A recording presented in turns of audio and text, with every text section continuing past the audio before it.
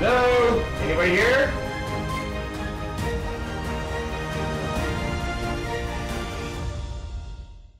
Hey guys, it's James. Today we're talking about financial freedom and what real estate can do for you over the long-term basis. So a few years ago, we were looking for a house for my mom and what things we were running into was we were on a limited budget. She only had so much cash available. And what we were looking at just was dated, it wasn't quite working right, and not the standard that we wanted. So what we ended up doing over the last couple years is flipping three homes to where we took her $50,000 and we grew it exponentially into a couple hundred thousand dollars.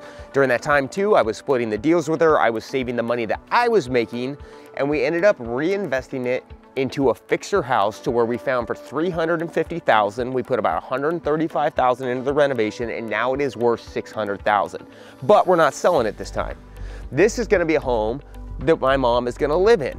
So if you remember, the house was completely dilapidated. And the reason we targeted a home like that, you know, typically when people are trying to find their mom their next nice house, they want it to be ro rosy and fuzzy. I wanted something that I had enough margin in to where I could rebuild the whole thing for her and drastically improve it. So over the last nine months, it was a really long project. We rebuilt the whole thing. We reframed the whole house. We vaulted the ceilings. We'll go look inside in a second. We did all the plumbing, put in all the hardscaping to give it a nice big surface. And now what we have is a home that's very affordable that she can live in for the rest of her life. And it's a very manageable payment under $1,500 a month. And it's like new construction. So by doing the right things in investing and moving your money around strategically, you can grow that nest egg and really enjoy financial freedom. There is no way that she can live in a house like this for the cost of her mortgage. It's about 50% less than what she would have to pay in a rental house of this caliber. So by doing the right things, building the right pot and the right wealth, we're able to put her in this house. So let's go check out my mom's house and see what we did. It is an amazing little property and now she has an amazing place to live.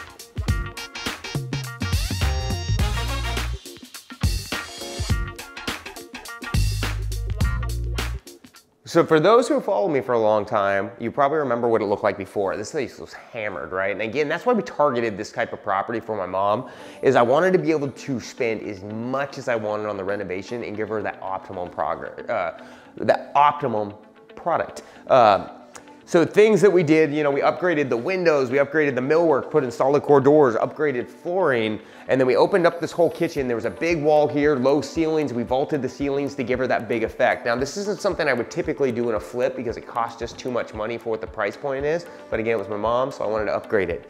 And it's more than just upgrading the house. It's about putting the right plan in play. As we're all working on real estate investing, the goal is to get to financial freedom for not maybe even just yourself, but for your whole family. Like how can you impact this all the way through? And if it wasn't for flipping and real estate investing, there's no way I would be able to accomplish this. You know, if I'm working a W-2 job, I have to put away a certain amount of my percentage of income just to save for my parents down the road. But by doing flipping, it allowed us to grow our nest egg rapidly. And that's really the end goal for us. How do we take 50,000? How can we four and five X it over a period of time and then take that money and save it and reinvest it to then make your quality of living better. If we would have took that 50,000 and just got her a rental property and it would have just kind of bled down, we would have, she would have been out of housing money in about four to five years. Now what we've done by flipping the property, growing the pot and waiting and being patient to get to the end goal, we're now in a property that is fully renovated with all high-end finishes, for a fraction of what she could actually rent this for and she still has that $50,000 that we can go use to work later and keep growing that back. So she got to keep her, her initial investment. We reinvested all of her profits into this property. It subsidized the basis down and now her mortgage is very, very affordable. So these are all things that are really key in real estate. You know, a lot of people ask me, why do you flip houses? Why don't you keep them all? Well, I do it to grow my nest egg, to keep things growing forward.